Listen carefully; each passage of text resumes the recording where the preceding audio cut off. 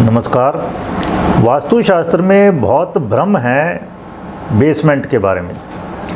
तहखाना या तल घर कह देते हैं मतलब ज़मीन से नीचे। खुदाई करके कमरे बना लेते हैं लोग, ऐशो आराम की जगह बना लेते हैं। मैंने देखा स्विमिंग पूल तक बना रखे हैं, लोगों ने अपने पब बना रखे हैं, उसमें जिम बना रखे हैं। तो वास्तु के हिसाब से पहली बात तो ये शुभ नहीं है। मैं यहाँ पे डिटेल में बताने वाला हूँ विद लॉजिक तो अगर बनाने हैं तो कहाँ बनाएँ, वो भी हम डिस्कस करेंगे। उसके रूल रेगुलेशन वास्तु के हिसाब से। पहली बात तो तहखाना घर में शुभ होता ही नहीं। घर एक ऐसी जगह है जहाँ हम मल्टीपल एक्टिविटीज़ करते हैं। ठीक है ना? घर में हम रहते हैं, घर में सोते हैं, खाना पकाते हैं, खाते हैं, पढ़ते हैं, लोगों को एंटरटेन करते हैं, काम करते हैं, बहुत तरह की बातें। तो बेसमेंट में जनरली क्या है, तामसी ऊर्जा भरी रहती है नेगेटिविटी भरी रहती है वहाँ पर। अशुभ ऊर्जाएँ हैं वहाँ पर। ना तो वहाँ सूर्य की रश्मियाँ सीधी आती, ना हवा का आवागमन होता ढंग से, और आप देखना जनरली बदबू सड़ांत होती है। दिल्ली में मैंने देखा यहाँ कनॉट प्लेस में जो पालिका पार्किंग है अंडरग्राउंड उसमें कोई पार्क करके राज़ी नहीं है, जबकि वहाँ बहुत सस्ता है। क्यों आप जाके देखना? हर वक्त लाइटें जली रहती हैं उसमें और गंदगी फैली रहती है। खुले में लोग गा, गाड़ी पार्क करना चाहते हैं चाहे महँगा कितना ही हो। पार्किंग चार्जेस जबकि ज़्यादा वहाँ पर बाहर।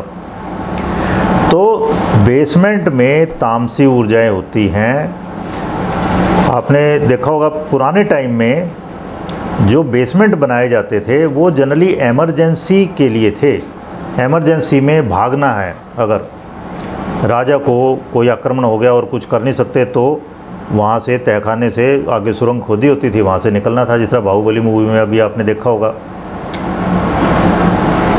पॉलिटिकल प्रिजनर को रखा जाता था उसमें। या फिर धन दौलत स्टोर करके छुपा के रखने के लिए, जिस तरह पद्मनाभ स्वामी मंदिर में मिली हैं बेसमेंट्स तहखाने। या फिर आर्मी के बंकर बनाए जाते हैं। कि वो छुप के दुश्मन की गतिविधियाँ देख सके या वार कर सके। इवन आजकल भी वीवीआईपी मूवमेंट के लिए प्रधानमंत्री इंडिया के प्रधानमंत्री की कोठी से एक टनल बनाई गई है एयरपोर्ट तक कि वो फटाफट अगर उनको जाना हो कि रोड पे इतना ज़्यादा ट्रैफ़िक है, वो प्रॉब्लम क्रिएट ना करे। टाइम ख़राब ना हो नीचे नीचे अपना सीधे चले गए और वहाँ से फ़्लाइट ले ली। तो ये वी मूवमेंट के लिए, अति विशिष्ट व्यक्तियों के लिए एमरजेंसी के लिए और चीज़ें छुपाने, दबाने के लिए प्रयोग किए जाते थे तहखाना। घर में कोई ज़रूरत नहीं है इसकी आम आदमी के लिए। आप देखो वर्ल्ड कुछ वर्ल्ड है ना अंडरग्राउंड होना अंडरवर्ल्ड पाताल लोक एकदम से ऐसे लगता है, पता नहीं क्या रहस्य की जगह या अशुभ नेगेटिविटी उनके, इन वर्ड से ये लगता है। तो जब हम तहखाने में जाते हैं तो हमें ऐसे लगता है इस तरह कब्र के अंदर जा रहे हैं। आदमी को ऐसा लगता है? इवन ताजमहल में कब्र तक को ऊपर उठाना पड़ गया। वो जो ऊपर कब्र देखने जाते हैं लोग, वो सब नकली है, वो कोई असली नहीं है। तो तहखाने जनरली बढ़िया नहीं हैं। ओके, अगर आप वहाँ बैठ के पढ़ते हो कम्युनिकेट करते हो, बातचीत करते हो, खाना पकाते हो, आप देखना जो एमसीडी में जो नक्शे पास होते हैं, कभी भी आप तहखाने में किचन बना ही नहीं सकते। पास ही नहीं होगी कभी वो।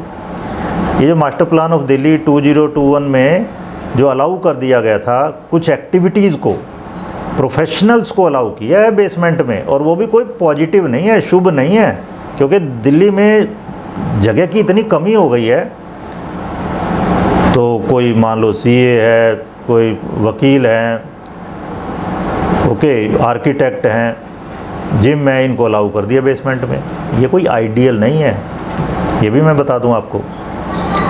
तो ये सब एक्टिविटी बढ़िया नहीं है बेसमेंट में। कुछ लोग घर में बेसमेंट में होम थिएटर बना रखा है डांस फ्लोर बना रखे हैं स्विमिंग पूल बना रखे हैं, कई जगह मैं वास्तु करने गया। तो आप देखना, वहाँ पे यही हाल होगा। वहाँ पे जुआ खेला जाएगा, वहाँ पे सट्टा लगाया जाएगा, वहाँ पर शराब पी रहे होंगे लोग। पब बना रखे हैं लोगों ने। यही काम होगा वहाँ पर। नेगेटिविटी भरी हुई होगी। तो अब आइए, अगर आपने बनाना ही है तो पहली बात, पूरे घर के आधे से ज़्यादा में कभी मत बनाओ बेसमेंट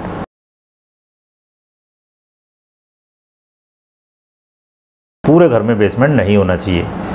तो उसके लिए क्या कर सकते हैं? हम यहाँ दिखा रहे हैं आपको। नॉर्दर्न हाफ़ में बना लो। मतलब दो पार्ट करो, नॉर्थ और साउथ के तो नॉर्दर्न पार्ट में बना लो, या ईस्ट वेस्ट दो पार्ट करिए, ईस्टर्न पार्ट में बना लो, या फिर थ्री बाई थ्री ग्रिड बना लो। तो जो उत्तर, ईशान और पूर्व है ना, इन तीन में, नौ पद में से इन तीन पद में बना लो। पहली चीज़ तो ये हो गई। फिर आइए कभी भी बेसमेंट जो आपका एग्जिस्टिंग रोड लेवल है ना ग्राउंड लेवल उससे छः फुट से ज़्यादा नीचे नहीं होना चाहिए। नक्शा भी जो पास होता है ना, उसमें भी ऐसे होता है। ग्राउंड लेवल से छः फुट नीचे और चार फुट ऊपर, ताकि उस चार फुट जो ऊपर है ना, उसमें आप दो एक फुट का कम से कम एक वेंटिलेटर लगा सको। और जितने ज़्यादा सब तरफ़ वेंटिलेटर होंगे, उतना बढ़िया। मतलब जो बेसमेंट है एग्जिस्टिंग ग्राउंड लेवल से छः फुट नीचे मैक्सिमम ऊपर, चार फुट ऊपर फिर। तो फिर उसके अशुभ प्रभाव कम से कम होंगे।